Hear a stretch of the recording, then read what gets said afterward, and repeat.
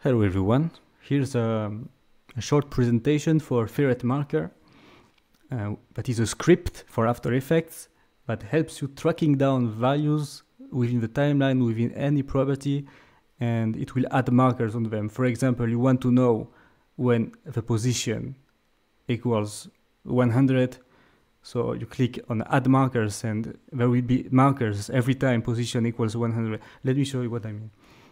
Uh, so that's the Google Chrome dinosaur game that I recreated on After Effects with the same sprites. So you can see the dinosaur uh, is running through the obstacle, it is not reacting. So with Ferret Marker, we will track down the x position of all the cactus just by, by selecting it. Position, position here, okay and uh, I already told him that we want to to seek the 1200 position and put a cactus label on it. So we'll add markers first on layer so you can see what's going on okay? And then we'll add it on composition for the automation to work. So you see cactus every time a cactus sees its position equal 1200 there's a marker. So this time we're going to add it on composition because there's an expression on the dinosaur that recognizes these cactus markers and jump every time there's a marker. So that's the idea. We can also do it for the birds. Here, for, when there's a bird, it shouldn't jump because they are too high in the sky. So uh, we will track down the, the y value of, uh, uh, not the y value, sorry, but the x value. Uh, this time we will put bird as a label and add markers when there's a bird on the way, now the dinosaur knows that he should lay down to avoid it, okay? So it's automatic and it's very fast. Okay. Uh, I will not break down the expression that I use on the dinosaur because uh, it would be too long and so that's not the purpose of the video.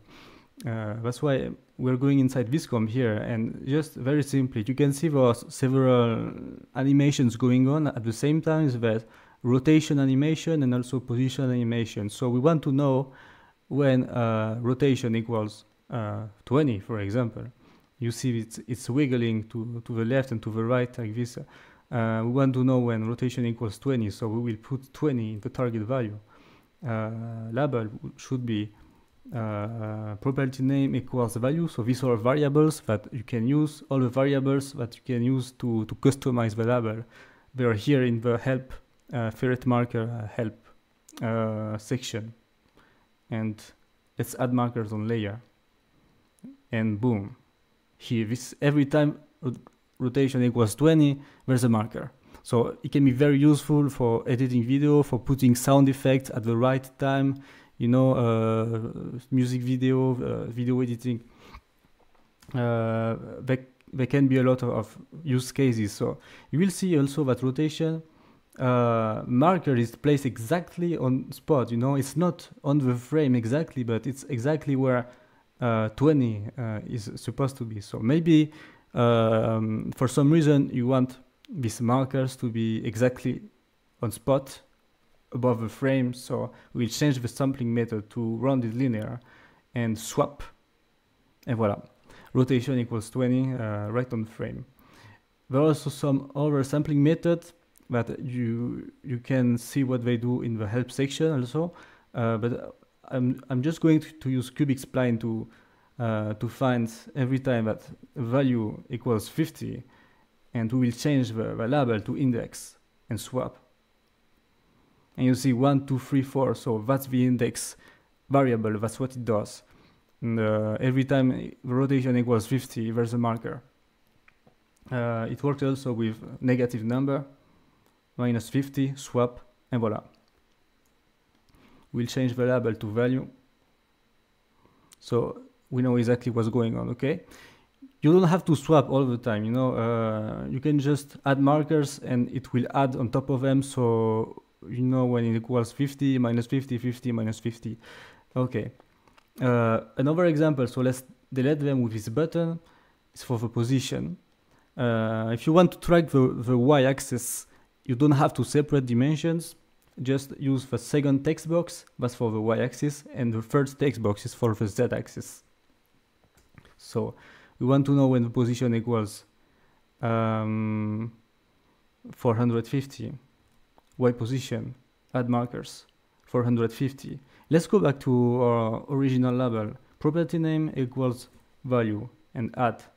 Okay, now it's better. And also you can see position one, one stands for the dimension, you know, so one is for y-axis and zero is for x-axis.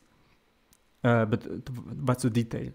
Okay, position, uh, maybe we want to know when position equals uh, 1200 and we'll put some decimals on it because ferret marker is very precise. It can handle a lot of decimal and it's still very fast.